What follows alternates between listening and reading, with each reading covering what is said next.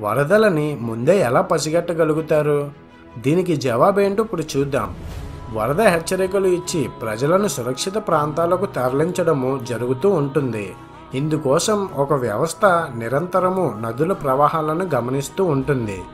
నది పరివాహక ప్రాంతంలోని వర్షపాతము కొలవడం వివిధ ప్రాంతాలలో నది నీటి మట్టం తీసుకొని ఎప్పుడు ఏ ప్రాంతంలో ఎంత వరద వస్తుందో అంచనా వేసి ఎప్పటికప్పుడు హెచ్చరికలు జారీ చేస్తారు. నదుల పొడవున అబ్జర్వేషన్ పాయింట్లు ఉంటాయి. ఆ సమాచారం అంతా క్రోడీకరించి తదనుగుణంగా హెచ్చరికలు జారీ చేయడం జరుగుతుంది. ఇది అంతా ప్రభుత్వాలు నిర్వర్తిస్తాయి.